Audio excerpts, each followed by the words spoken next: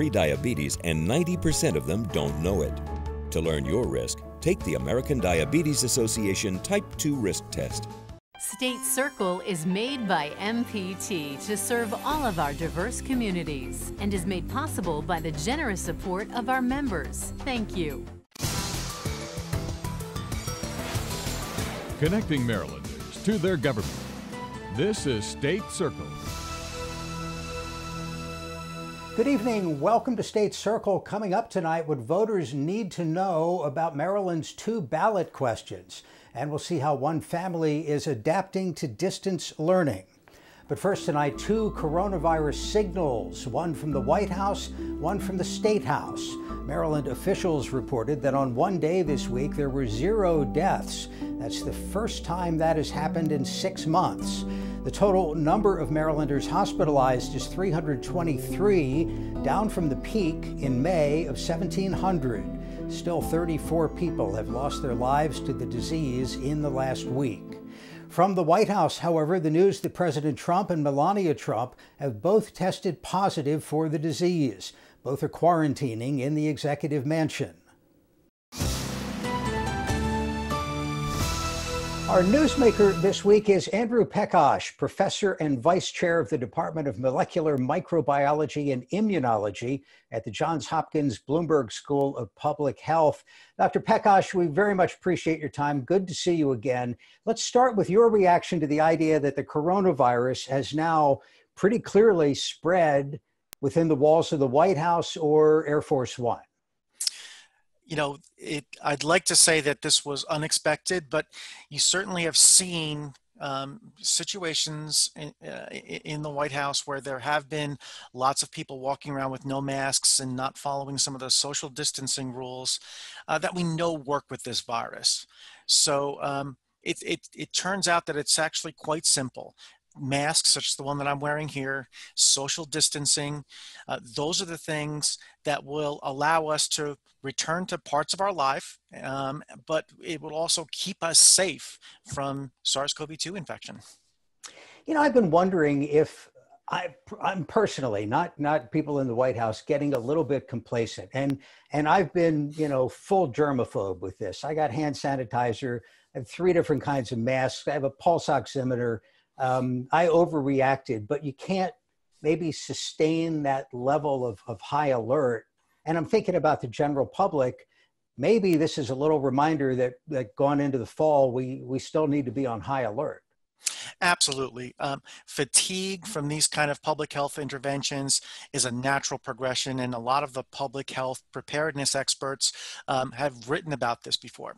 Uh, so the real thing now is, are there things that can help us sort of refocus? Um, some of these things can be little things. If you notice, my mask actually has little coronaviruses on them. So does, sometimes does that help? Does that repel the other coronaviruses, or? Uh, well, you know, we we are experimenting with that now, uh, but it allows you at least to incorporate that as something different in your life. Get a few that are different colors. Maybe try to match them with your outfits, or, or have something on them that uh, is interesting, uh, so that it motivates you to put them on, but it also then helps the people around you. If people see people with interesting masks on, maybe that gets them more interested in following this. Uh, fatigue from these kind of things is absolutely something that uh, is going to occur. The fall is going to bring us back inside as opposed to being outside during the summer months. And those are the situations that are going to really challenge us in terms of minimizing the spread of this virus not to knock the, the public health community here, but I wonder if masks were, were kind of sold the wrong way as this isn't going to help you, but this is going to help society at large. We talked earlier in the show about just a moment ago about how the, the numbers are getting better in terms of the number of inpatients in Maryland, the number of fatalities uh, from the disease. And it's hard to, hard to figure why that is because so many people are still testing positive, and I've read that one possibility is that even a mask like like yours, not a surgical mask, not an N95 mask, may help somebody who is exposed inhale less of the virus and, and get a, a lower viral load uh, and possibly a, a, less severe illness. Does that make sense? Yeah, I, I've heard the same theory. I haven't seen any data to support that. Um, and certainly, I'm not sure if uh, that's probably the best way for you to get exposures to a virus. I think a more likely scenario, and that's what's happening here in Maryland, is we're starting to see the COVID 19 cases shift to a younger age group. Uh, so we know that uh, when the first waves of viruses came through, the elderly were particularly targeted, and those were the groups that had the most severe disease. Now we're seeing a shift to younger groups. And in younger groups, we don't see the hospitalizations and the deaths as frequently as we did in the older age groups.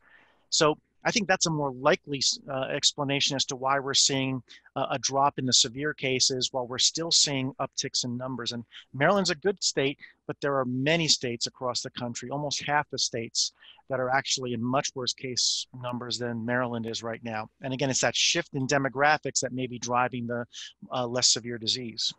There hasn't been anything new when it comes to, to therapeutics, uh, at least on the over the counter end, or things people can do at home if they get sick to avoid going to the hospital. It's still kind of flu advice, stay hydrated, uh, maybe some Tylenol, right? Absolutely. You take care of your symptoms, particularly when they're mild and, or moderate. You can certainly call your healthcare provider. Better to call than to walk into your healthcare provider because, again, we want to minimize the chance of spread.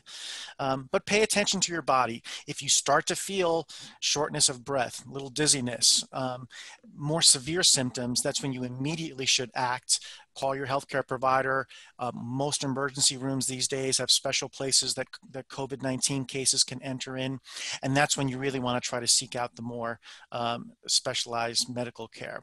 I think the other thing to, to realize too is um, I think the medical community has gotten really good in terms of how they take care of both the moderate and the severe cases of COVID-19. Um, we have much lower chance of getting onto ventilators, um, and that improves the outcome of infection. So the medical community has also learned how to take care of severe patients, and the outcomes now are much more better uh, because of that experience that they've had and the learning process that they had from the first wave. What, what have we learned about the timeline from the, the point of exposure to the point where somebody becomes contagious to the point where uh, they may test positive and then be symptomatic? And I may not have all that in the right order, plus the idea that there's a turning point about a, about a week in. Yes, this is a fantastically important question.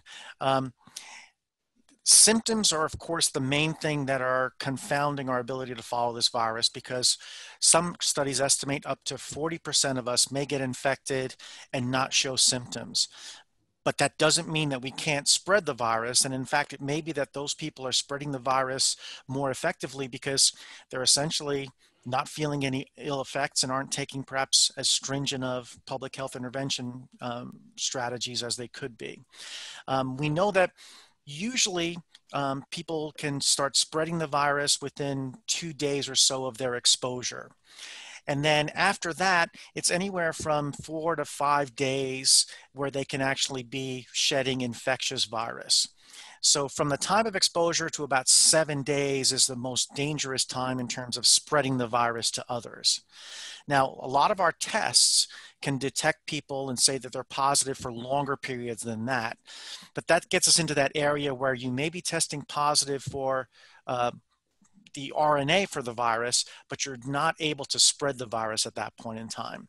And there's a lot of research going on right now to get better testing in place to be able to differentiate the people who are infected and capable of spreading the virus from the people who are infected, but are probably no longer a threat to spread the virus to someone else. Can you can you spread the virus before the point that you test positive? I heard somebody say earlier in the week that they didn't need masks at the White House because everybody who gets in there has had an antigen test. Uh, I think that the problem becomes the timing of everything. So between the time you're exposed and the time that you are uh, able to shed virus, you will have a window of time there where you'll be negative uh, because the virus hasn't had enough time to replicate in your nasal tract to a high enough level to be detected. So testing always has this window of time where if the virus, if you're exposed to the virus, If you're tested immediately, you'll be negative. If you're tested the next day, you may still be negative, but then sometime, maybe in the next 24 hours while you're at work, you can start to shed virus. And that's the that's the part with with these testing that uh, that uh, becomes a problem. And I'll also emphasize that we never want to rely on one thing alone to protect us from infection. Testing is great. It is absolutely important. But testing combined with masks, combined with social distancing, gives you three separate layers of protection. And together, the, your protection is tremendously higher than if you just relied on any one of those. We were fortunate to get to speak to you a couple of times in the spring when this was just getting going. And this, this condition is right in your specialty, the, the spread of, of respiratory uh, viruses. Has anything surprised you over the last six months? Yeah, with the, the extent in which people who don't have symptoms are present in the population and can spread the virus.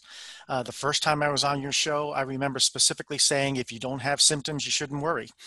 That changed to we, you may have very mild symptoms, and now it seems like a good number of people don't have any symptoms. And I think in terms of looking forward, we've also now seen that people who get infected have very different immune responses uh, to infection. Some people have very strong immune responses with lots of antibodies that will block the virus. Um, others tend to have rather weak responses to the infection and don't have very many antibodies that are detected within a few weeks after infection. So that, that's important because as this virus continues to circulate through the population, it's eventually going to start finding these people who have had it before and these reinfections um, are going to be dictated by the amount of immunity that the person has gotten after their first infection. And so that's the real place right now that everybody's spending a lot of time on trying to understand what that means in terms of your ability to be protected from a second infection. Dr. Andy Pekosz at the Hopkins Bloomberg School of Public Health. Uh, thanks so much for the time. We know you have to literally get right back to the lab. So uh, thanks again. Thanks for having me. Maryland Governor Larry Hogan reacted this week to the improving data by relaxing limits on nursing home visits and also allowing childcare facilities to operate at full capacity. All 24 jurisdictions in the state of Maryland have positivity rates below 5%. 21 of them are under 4%. 14 jurisdictions are under 3%, including Baltimore City. Uh, four of them are under 2%, and we even have two jurisdictions that are now uh, having positivity rates less than 1%. Most schools remain closed, most students learning by computer. Our Nancy Yamada shows us how one family is dealing with the challenges. It's hard not seeing my friends, and it's harder to ask questions on the computer. But 10 year old Violet Shellhorse, a fifth grader at Kemptown Elementary School, has adjusted to distance learning. On this day that we visited, she was in PE class outside with her laptop, following her teacher's instructions in her backyard. Sometimes, like, our computer like doesn't work right away and we have to like shut it down again then bring it back up again it's been a challenge to say to say the least besides internet connectivity issues we live in a smaller house so just it's always like musical chairs when we're on the on the computer at the same time Mother of two, Kelly Shellhorse, is a single mom and also works full time as a middle school counselor in Montgomery County. Schedule wise is um, very difficult. The girls, even within being in the same school, have different schedules different start times in the morning, different lunch times, different breaks throughout the day. And then with my job, it's just hard because my day is different.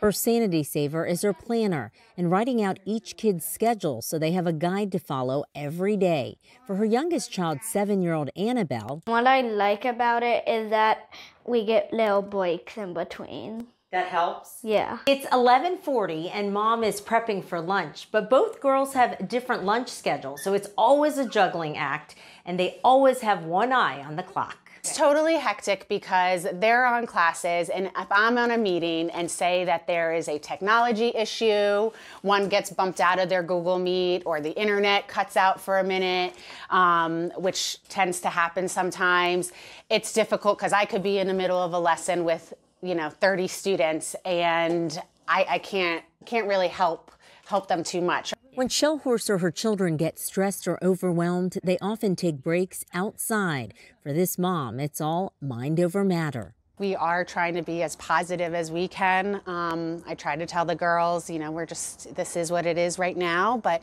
hopefully, you know, soon we will all be back in school. And right now we just got to take one day at a time and get through it. I'm Nancy Yamada for State Circle.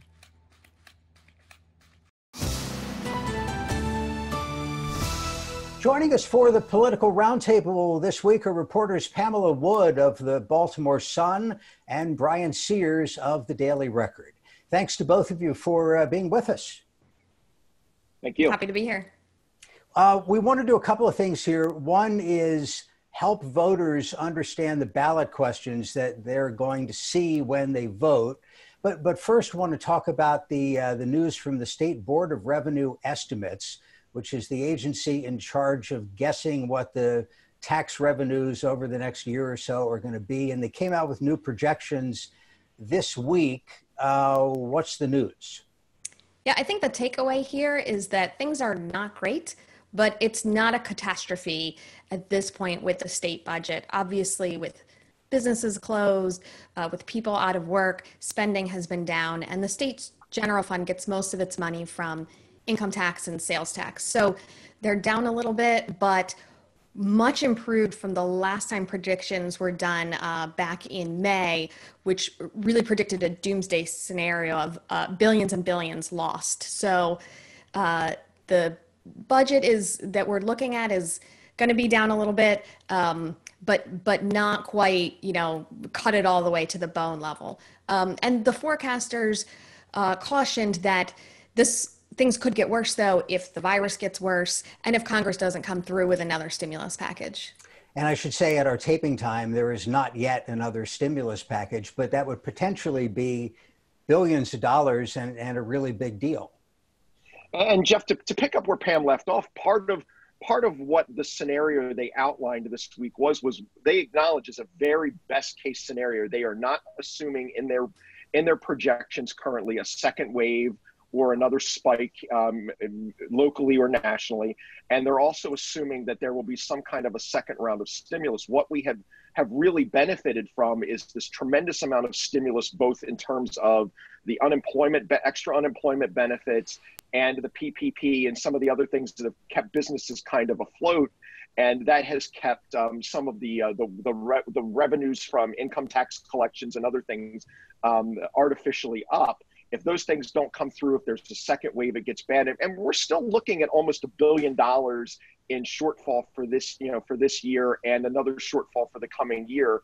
Um, the, the governor and the Board of Public Works have taken some actions to kind of offset that. Um, but you know, even if you're looking at six or seven hundred million dollars in the current fiscal year that they're going to need to deal with, it, it's still real money at the end, and, and they're going to have to probably make some tough decisions, assuming again that we don't see something that happens that makes this all worse.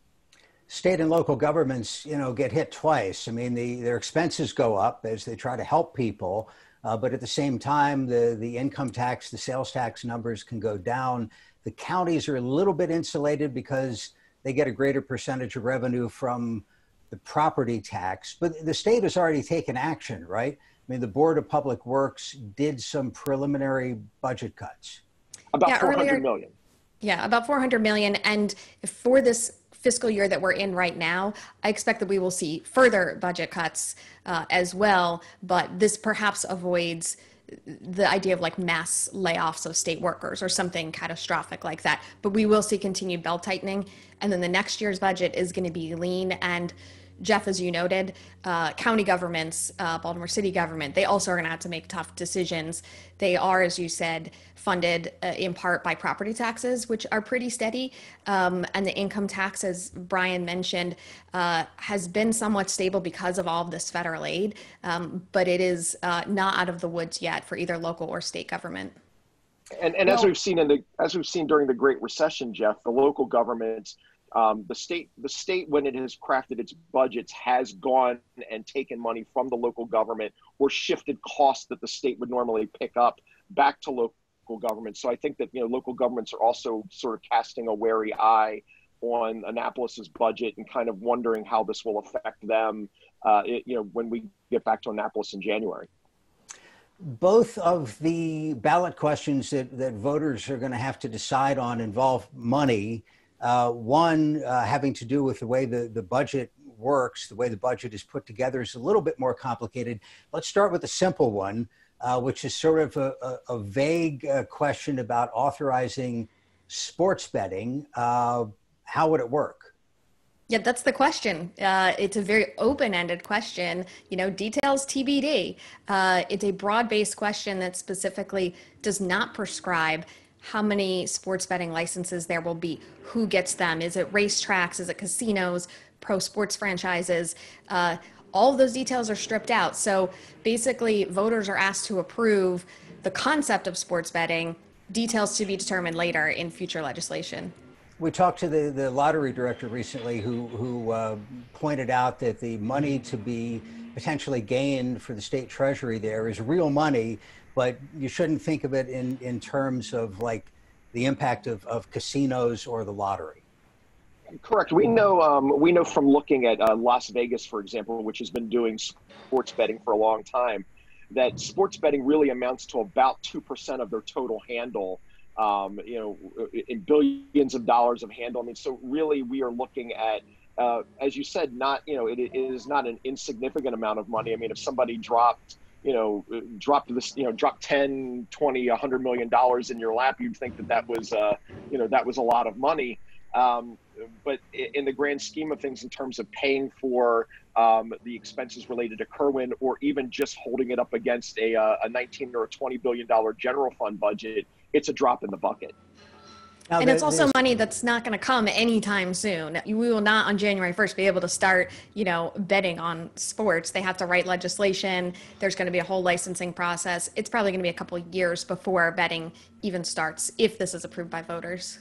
And meanwhile, you can still go to Pennsylvania. West Virginia runs ads here all the time during football season and, and March Madness about how you can drive over the over the border and bet there. Um, Maryland is woefully behind. Uh, the, the legislators really just uh, they they dropped the proverbial ball on this uh, two years ago when they had a chance to get this rolling. All right, so so that's up to voters to decide if they want sports betting. The the other question has to do with the uh, relative powers of the governor and the legislature in putting together the, the state budget. Uh, it's kind of inside politics stuff. What, what would it change? Yeah, so question one on the ballot is is a very Annapolis inside question that's now being put to all of the Maryland voters. Long story short, Maryland's governor has extraordinarily strong powers over the state budget, uh, the strongest of all the governors in the nation when state lawmakers get his budget, they can uh, cut money, uh, but it's uh, pretty much impossible for them to move it around or add money to the state budget. This question would give them that authority. But with a, a trade off, right? Yes, the governor would get a line item veto on any change, any addition that uh, legislators make. If they cut from column A and add to column B, that change, the governor could uh, veto that change specifically. There, there's a history to this though, Jeff, because it used to be, you know, back in, uh, you know, the early 1900s, Maryland had a system similar to what this question would do, and that was taken away and and and given, you know, the governor's position became strengthened because of profligate spending by the General Assembly. They were they were writing things into the budget without concern about how it was going to be paid for, and this has come about now because the General Assembly has become increasingly frustrated by a Republican governor who will not come to heel on some of their budget priorities, and they've attempted to fence things off and force him to force him to uh, to spend money on things that he doesn't want to spend money on, and he refuses, and they can't make him do it, and so now they want a greater say in uh, in some of these budget priorities.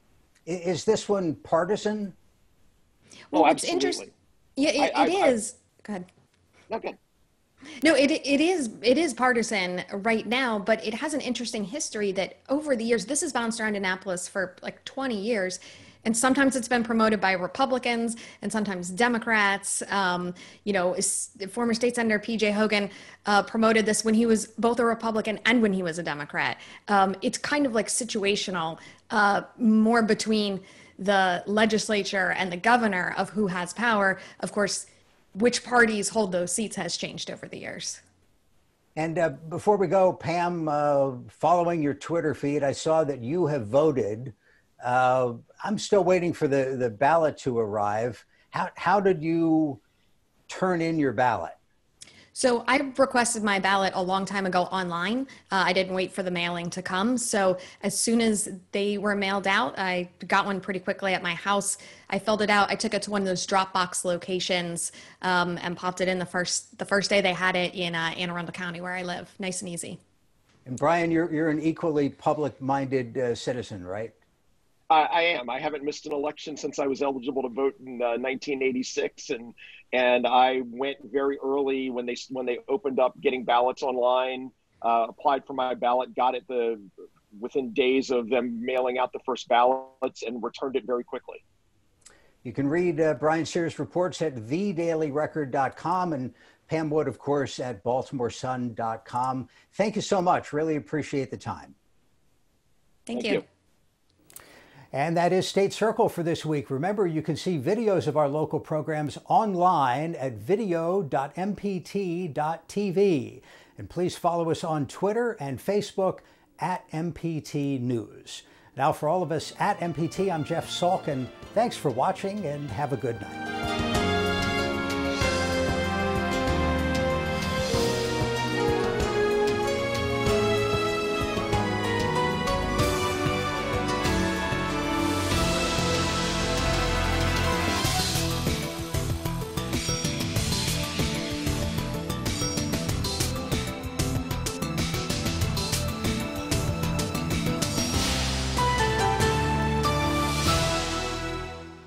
This program was made by MPT to serve all of our diverse communities.